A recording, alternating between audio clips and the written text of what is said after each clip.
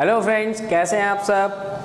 चलिए, आज हम पढ़ने वाले हैं cleaning action of soap tenth class का चैप्टर फोर कार्बाइंस कंपाउंड्स उसका लास्ट टॉपिक हमारा क्या है? क्लींजिंग एक्शन ऑफ़ सोप इस टॉपिक के अंदर जनरली कंफ्यूजन क्या होती है कि पहली चीज़ सोप क्या होते हैं? फिर उसके बाद ये समझ में नहीं आता कि ये सोप एक्शन कैसे कर रहे हैं, क्या मिसल जो होते हैं माइसल फॉर्मेशन होती है, वो क्या होती है? ये सब चीज़ें दिक्कतें रहती हैं। तो आज हम इन्हीं प्रॉब्लम्स को थोड़ा दूर करते हैं और समझते हैं कि आखिर जो सोप है वो कैसे हमारे गंदे कपड़ों को साफ़ कर देता है ओके तो first of all soaps soap क्या होते हैं? Sodium and potassium salt of fatty acids fatty acid जो होते हैं हमारे, उनके सोडियम और पोटेशियम के जो सोल्ट होते हैं, वो क्या होते हैं हमारे? सोप्स होते हैं। ओके? सोडियम स्टीरेट, यहाँ पे मैंने एक एग्ज़ाम्पल भी लिखा हुआ है सोप का। Sodium stearate C seventeen S thirty five C O minus N A plus ठीक है तो ये सोडियम का क्या है एक? सॉल्ट है। तो ये क्या है हमारा? सोडियम का एक फैटी एसिड। देखो सी ओ ग्रुप कौन सा होता है? कार्बोक्सिलिक एसिड का तो कार्बोक्सिलिक ये हो गया एसिड वाला पार्ट ठीक है? तो ये हमारी होगी फैटी एसिड और ये क्या हो गया हमारा? सोडियम तो ये क्या बन गया हमारा? सोडियम का एक सॉल्ट बन गया. दैट इज़ सोडियम स्टीरेट तो ये हमारा एक सोप का एग्ज़ाम्पल है. अब सोप काम कैसे करता है कपड़े को साफ़ करने के लिए? देखिए क्या होता है कि आपने एक कपड़ा लिया, ठीक है, वो गंदा है, उसमें मान लीजिए ऑयल ड्रॉप ग्रीस वगैरह इन सब के जो है गंदगी लगी हुई है उसके अंदर, आपने उसको पानी में डाला सोप पानी में सोप डाल दिया आपने। ठीक है, फिर उसके बाद क्या होता है कि सोप के अंदर का जो ये पार्ट होता है इसमें,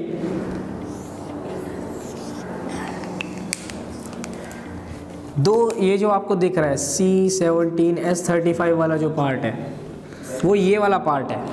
ये जो जिगजैग है ऐसे आपको चैन दिख रही है, ये इसका पार्ट है। इसके आगे जो सी ओ ओ एन ए था ये वाला पार्ट जो है, ये हमारा ये वाला पार्ट है, जो मैंने यहाँ पर N A plus N A plus ऐसे यहाँ पर आपको दिखा रखा है। ठीक है? तो ये ऐसे बहुत सारे जो होते हैं सोप के पार्ट किसकी तरफ़ भागते हैं? सॉल्यूशन के अंदर होते हैं। ठीक है? ऐसे ये बहुत सारे जो होते हैं अप्रोच करते हैं। किस तरफ़? जहाँ पर डर्ट होती है ऑयल होता है। तो इसके दो एंड है हमारे, एक ये वाला और एक ये कार्बन चेन वाला हाइड्रोकार्बन चेन वाला जो पार्ट है। अब इसके अंदर ये जो पार्ट दिख रहा है आपको सी ओ ओ एन ए और माइनस एन ए प्लस वाला, इसको तो हम कहते हैं हाइड्रोफिलिक ये होता है हाइड्रोफिलिक एंड और इस वाले पार्ट को हम कहते हैं hydrophobic hydro means water phobic means repelling या हीटिंग आप कह सकते हो। जो पानी से दूर भागता हो। और हाइड्रोफिलिक मतलब वाटर लविंग जो पानी के पास जाता हो, प्यार करता है पानी से, पानी में डिजोल्व हो सकता हो।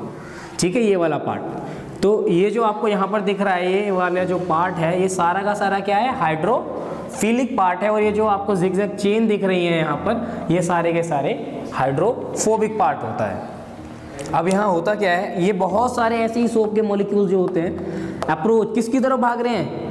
हमारी गंदगी की तरफ़ डर्ट की तरफ़, वो ऑयल ड्रॉप के पास। और ये वाला जो पार्ट होता है, हमारा जिगजैग वाला पार्ट सारा किस पे अटैच कर रहा है? ये ऑयल ड्रॉप से अटैच करता है। क्यों?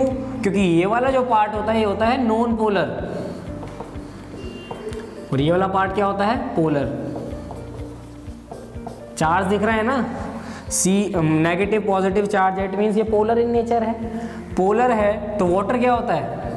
H plus O H minus water भी पोलर होता है। तो पोलर पोलर में डिजोल्व होता है। इसीलिए ये वाला पार्ट किसमें डिजोल्व हो रहा है? किसके लिए लविंग है? वाटर लविंग होता है, इसलिए पोलर डिजोल्व इन पोलर हो जाता है। और ये वाला जो पार्ट होता है जिगजैग चेन वाला पार्ट ये नॉन पोलर होता है। और ऑयल भी कैसा होता है? नॉन पोलर इसलिए नॉन पोलर नॉन पोलर एक साथ अटैच होते हैं। ठीक है? अब यहाँ पर क्या हुआ?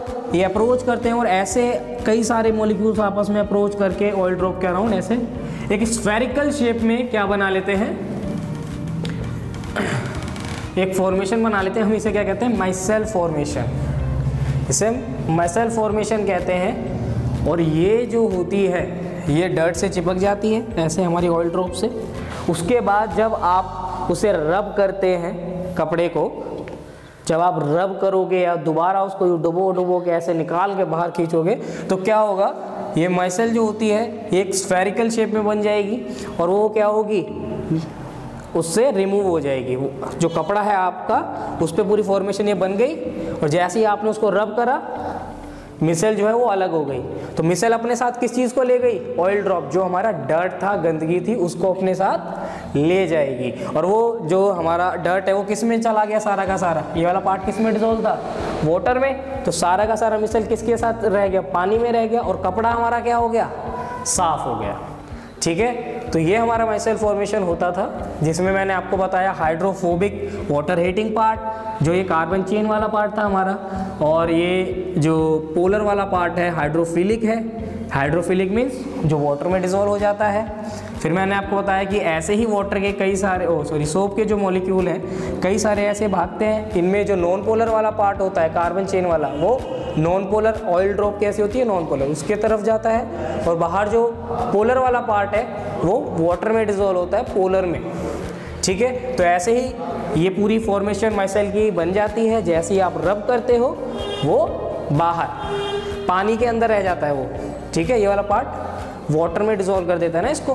तो आपकी मिसल किसमें रह गई? पानी में, और आपने कपड़ा बाहर निकाला तो क्या हो गया? आपका कपड़ा साफ़ हो गया। ओके फ्रेंड्स तो ये था हमारा cleaning action of soap soap क्या थे? मिसल फॉर्मेशन कैसे बना? और ये कैसे वर्क कर रहा था? ये मैंने आपको यहाँ पे समझा दिया। आई होप कि आपके यहाँ पे जो डाउट हैं इस टॉपिक को लेके वो क्लियर हो गए होंगे। नेक्स्ट वीडियो में मिलेंगे न्यू टॉपिक्स के साथ। कुछ नई बात, नई तरीके से समझेंगे उन टॉपिक्स को भी, जो आपके लिए बहुत ही हेल्पफुल रहेंगे। Okay friend